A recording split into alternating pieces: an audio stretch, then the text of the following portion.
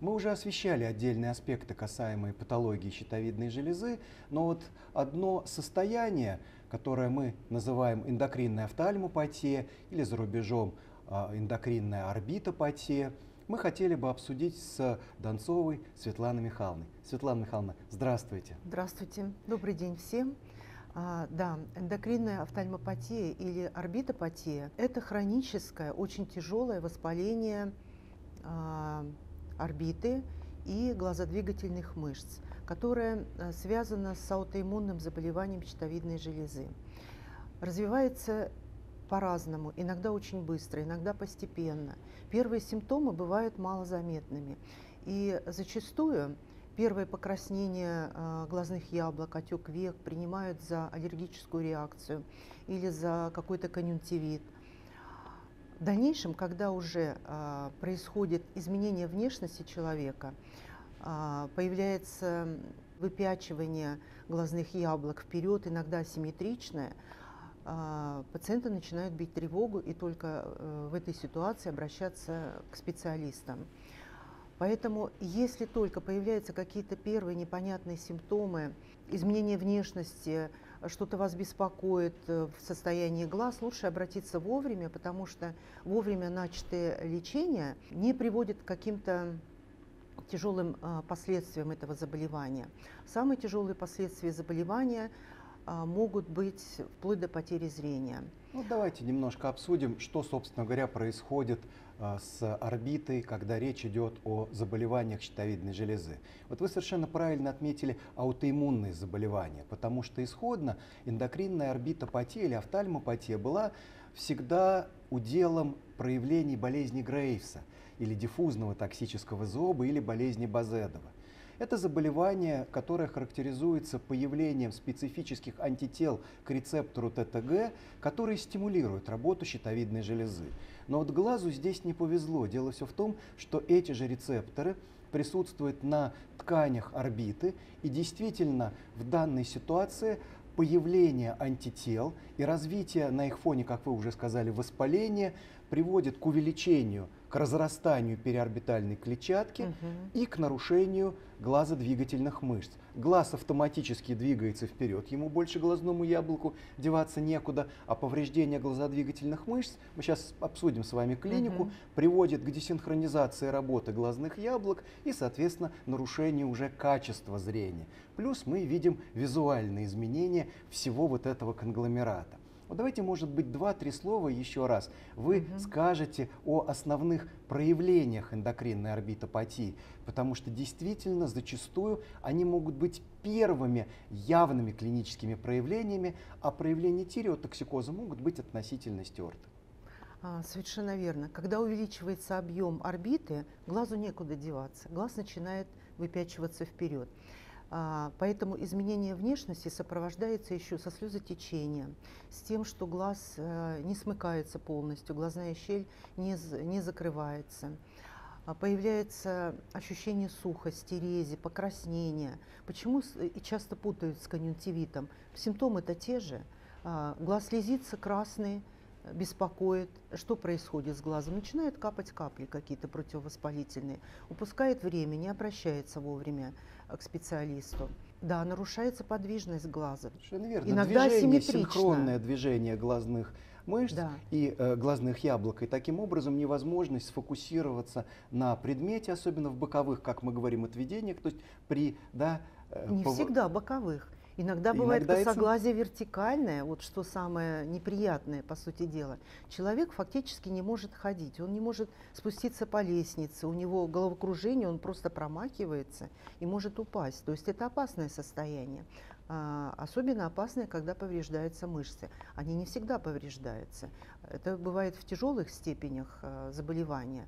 То есть заболевание, оно не развивается а, сразу с тяжелой степени, начинается постепенное. Да, постепенно. постепенное развитие воспаления, отека и повреждения мышц. Но здесь тогда, может быть, давайте еще один аспект затронем. Угу. Он напрямую не касается классической эндокринной орбитопатии, он касается глазодвигательных э, изменений или изменений, как мы говорим, глазные симптомы тиреотоксикоза, когда избыточная продукция тиреоидных гормонов нарушает иннервацию глаза, и когда мы действительно видим такие симптомы, как Грефи, Мёбиуса, когда да. мы видим горизонтальный нестагм.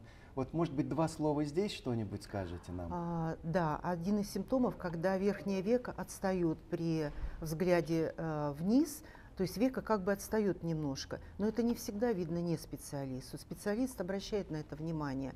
Пациент может не обратить, тем более сам у себя. Это могут обратить э, внимание э, окружающие на его состояние.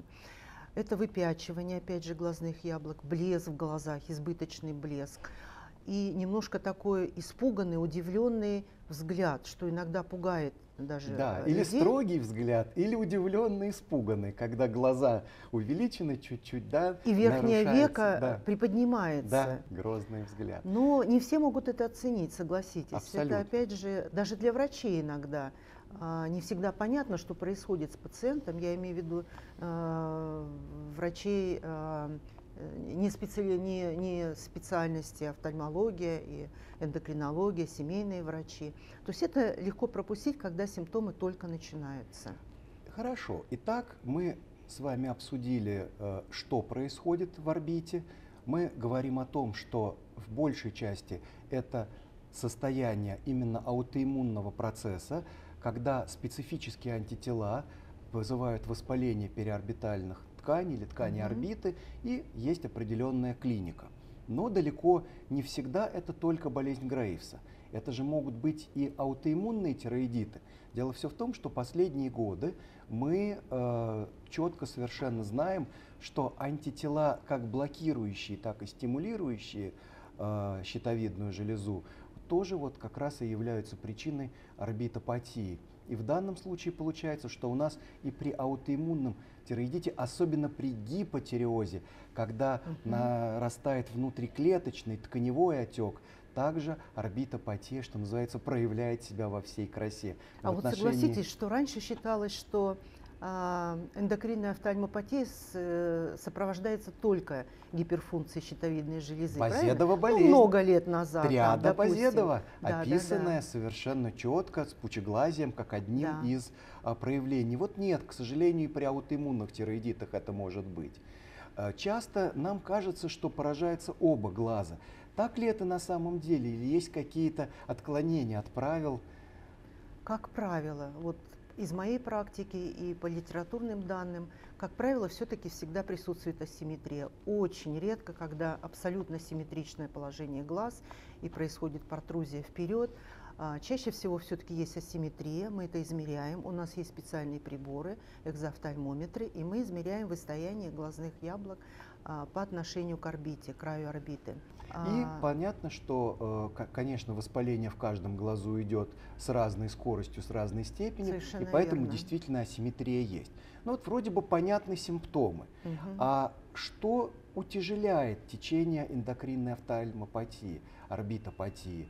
Вот что наши факторы а, есть пациенты такие. должны знать, чтобы избегать в своем поведении, в своих привычках ну или, по крайней мере, понимать, что если угу. есть те или другие совокупные факторы, то надо точно бежать к офтальмологу. Один из провоцирующих факторов э, эндокринной офтальмопатии – это курение, конечно. Причем здесь такая зависимость, даже э, тяжесть заболевания зависит от количества выкуренных сигарет в день.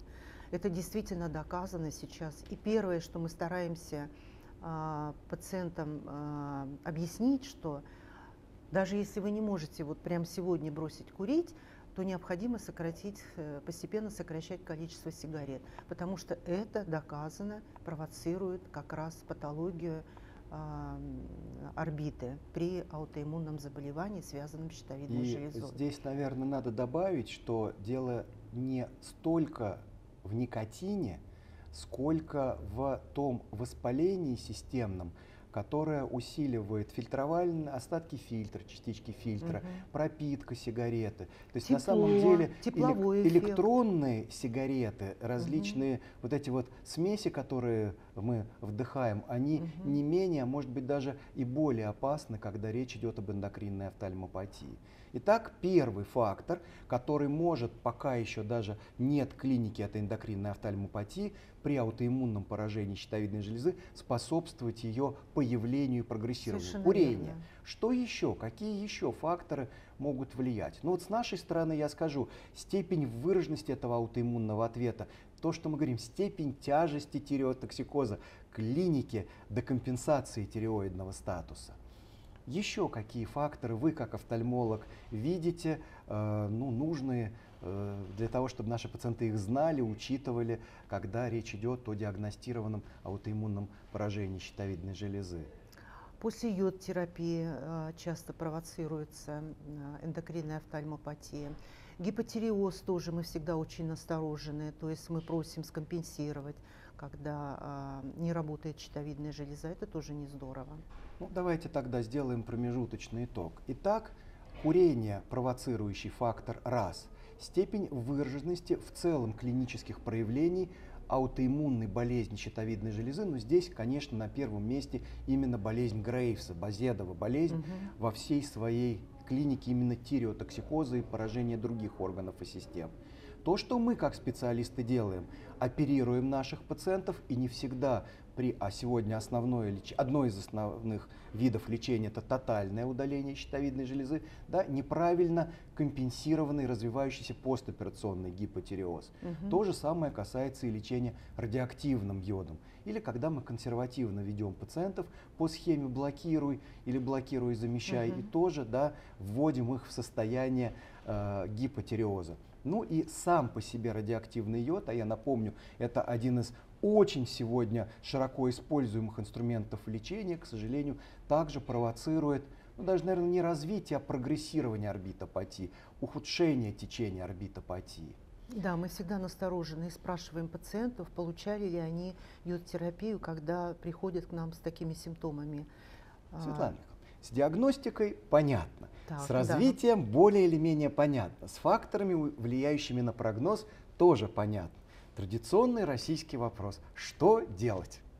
А вот здесь мы должны в первую очередь оценить активность заболевания. Активное заболевание лечим. Неактивное заболевание наблюдаем и э, лечим вместе с эндокринологами. Ладно, Михайловна, а понятно, что большая часть э, тех, кто смотрит наши программы или э, посещает наши чаты, это пациенты или родственники пациентов Ильинской больницы. И здесь я абсолютно уверен, как говорится, офтальмопатия не пройдет, и мы так или иначе с ней справимся.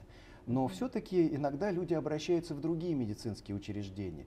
Вот может быть очень-очень тезисно, какие анализы, какие методики должен пройти человек, у которого мы заподозрили эндокринную офтальмопатию? То есть что вами, офтальмологами, угу. обязательно должно быть сделано, когда речь идет о постановке диагноза и выявлении активности процесса?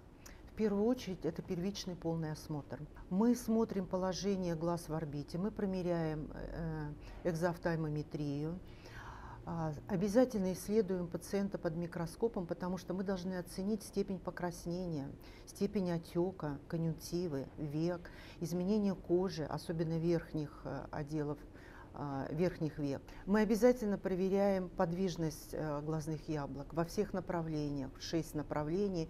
Мы смотрим, ограничена ли подвижность или нет, есть двоение или нет при движении глаза. Оцениваем, есть болезненность или нет. Это болезненность в состоянии покоя глаза или при движении глаза.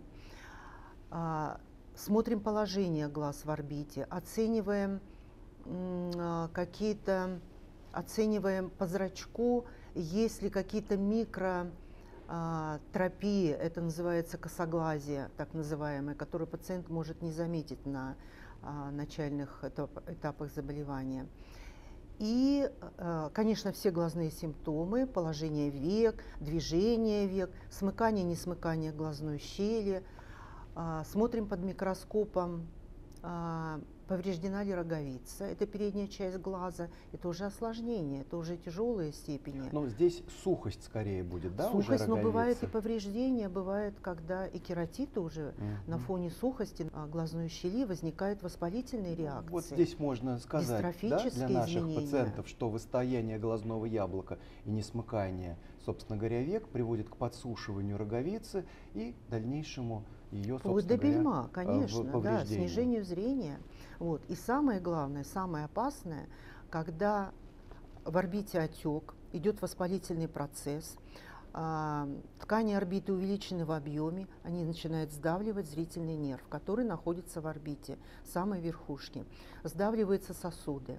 Из-за того, что сдавливаются сосуды, возникает э, расширение сосудов глазного яблока. Вы знаете, как варикозное расширение. Вернусь. А, Да. э, Мы говорили о микроскопии, по крайней мере, да, рассмотра глазного яблока И под глазного дна. дна, да, и Обязательно с широким зрачком. А, Глазное еще- давление. Да, внутриглазное давление. Да, это важно. Инструментальные еще какие методы должны входить в рутинное обследование? Или ультразвук, или тем более компьютерная томография. Это уже после, скажем так, специфического первичного осмотра офтальмологического. Это да. уже вторичные дополнительные Совершенно тесты. верно, да, обязательно. На сегодняшний день это стандарты обследования а, глазодвигательной мышцы. Мы смотрим на КТ и МРТ. У всех практически? Или- Практически у всех. Если мы видим экзофтальм, если мы видим повреждения с жалобами, с нарушением подвижности глаза, то есть это уже активная фаза, мы определяем, что да, активный процесс. Мы смотрим, что это средняя степень тяжести или тяжелое э, состояние. Это просто стопроцентное э, направление на КТ или МРТ. Итак, э, еще раз подытожим. Э, аутоиммунное поражение орбит, достаточно, э, ну, скажем так, комплексный, серьезный офтальмологический осмотр, как визуальный, Мгм. так и с использованием э, инструментальных методов. И вот на каком этапе, когда мы обязаны назначить терапию, или чтобы сами пациенты понимали, я дошел вот до такой-то, такой-то стадии, точно мне нужна терапия. Мне надо получать лечение, причем не от основного заболевания, а в данном случае эндокринная офтальмопатия, идущая параллельно как группа симптомов, как синдром в рамках вот всего этого э, Грейвса. Раньше офтальмологи очень боялись назначать стероиды. То есть мы старались обходиться местным лечением. Это инъекции парабульбарные, субконъюнктивальные. Но последние исследования доказали, что самое эффективное лечение глюкокортикоидами – это все-таки пульстерапия внутривенная. Проводились многочисленные исследования, это все доказано и уже вопросов не вызывает. Когда есть возможность при активной фазе заболевания, при средней и тяжелой степени заболевания, опять повторяюсь, а, первый этап лечения – это глюкокортикоиды. Мы начинаем с них, если, конечно, нет противопоказаний а, по общему состоянию пациента. Ну, практически они отсутствуют, потому что действительно мы в противном случае можем просто потерять глаз. Итак, Но мы, поте- мы проверим все-таки функцию печени. ну, безусловно. Да, мы, сдади- мы э, направим пациента на какой-то минимум анализов перед тем, как начать пульстерапию. Итак, терапия глюкокортикоидами при активности процесса назначает эту терапию врач. Эта терапия не только эффективна, но имеет свои побочные действия. Отсюда и очень серьезное за 30 лет изменение подходов к этой терапии. И действительно от Мгм. внедрения этих глюкокортикоидов в глазницу до фактически пульс-терапии, минуя длительный период времени, я начинал работать пероральный прием преднизолона по Да, да, да. 30-40 миллиграмм. Ну, такое тоже остается, кстати. Конечно. Если нельзя провести Конечно, пульстерапию конечно. как метод выбора. А, Какие-то, может быть, э, ну даже, наверное, не цифры, может быть, очень коротко, этап, когда глюкокортикоиды не помогли. Что дальше? Какова наша, что называется, дорожная карта здесь? Если глюкокортикоиды не помогают или резистентность к ним, а, у нас есть еще ряд препаратов, а, которые мы обсуждаем, естественно, с лечащим врачом а, общей практики или с эндокринологом. И есть препараты второго ряда выбора, вы о них знаете, может быть, скажете. Но если есть угроза зрения, то мы не ждем, конечно. Мы начинаем одномоментно и глюкокортикоидную терапию, и начинаем готовить пациента к операции. Потому что в противном случае мы просто можем потерять зрение. То есть то, что мы называем декомпрессией орбиты. Декомпрессия орбиты, потому что а, тканям тесно в, костных, э, в костной клетке орбиты, и мы должны эту клетку расширить. То есть мы должны убрать как, какие-то стенки орбиты, чтобы было пространство для того, чтобы поместился, поместилось глазное яблоко, мышцы и ткани орбиты без повреждений, без сдавливания. То есть опять же понятен теперь ал алгоритм.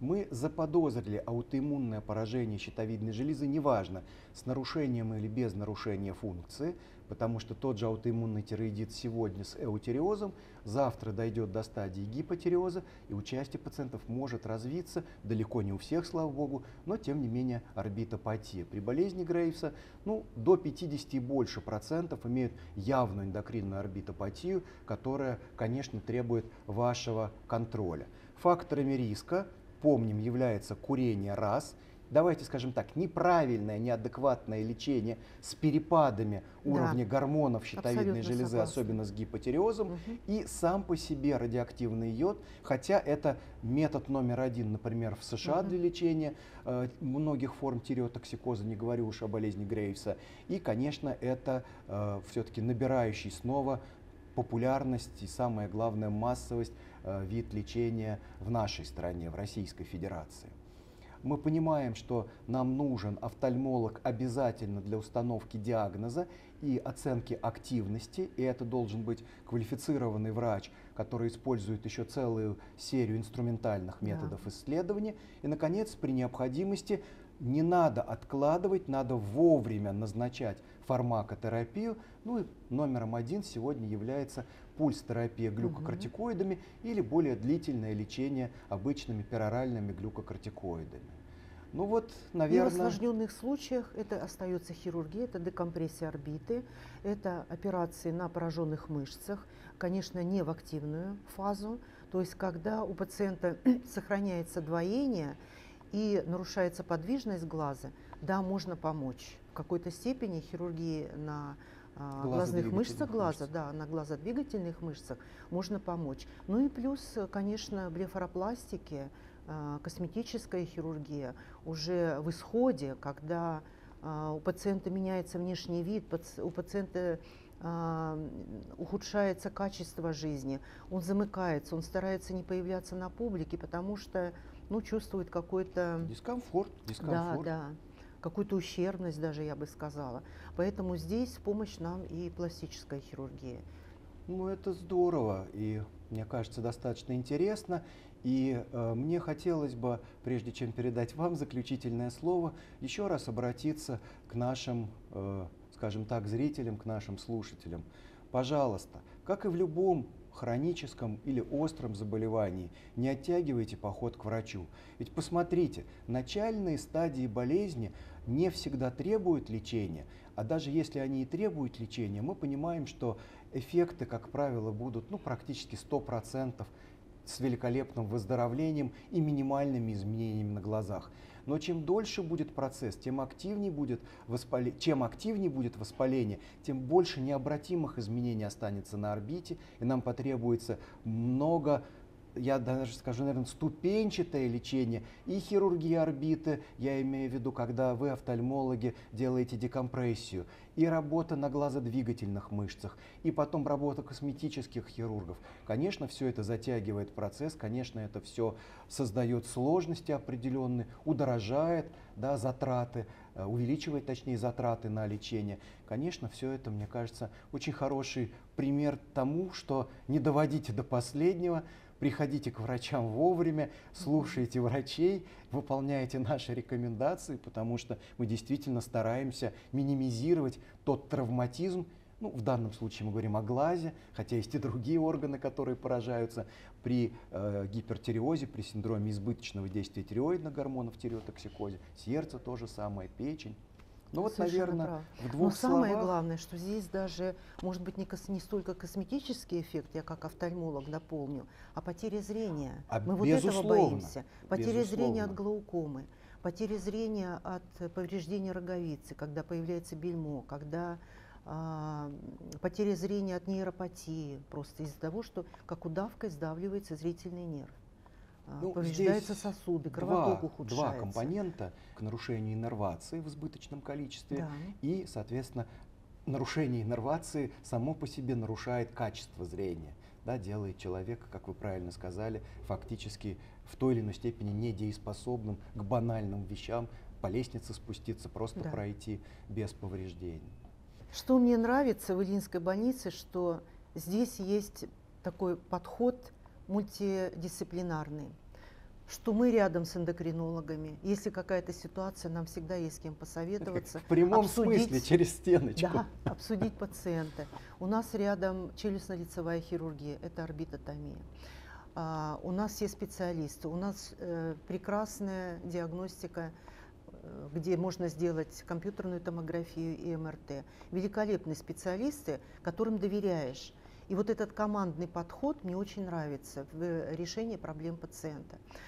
Что хочу сказать эм, пациентам, у которых эм, выявляются какие-то начальные признаки непонятного покраснения глаза. Пожалуйста, не лечите долго конъюнктивит, не лечите долго аллергические заболевания, если у вас их никогда не было. Две недели, если вы полечили, вам лучше не становится, придите, пожалуйста, к специалисту, мы разберемся, что происходит с вашими глазами. Потому что банальное покраснение может привести к большой проблеме, к, к дальнейшему прогрессированию аутоиммунного заболевания. А лечение на начальных этапах всегда намного эффективнее и не приводит к осложнениям, поверьте мне.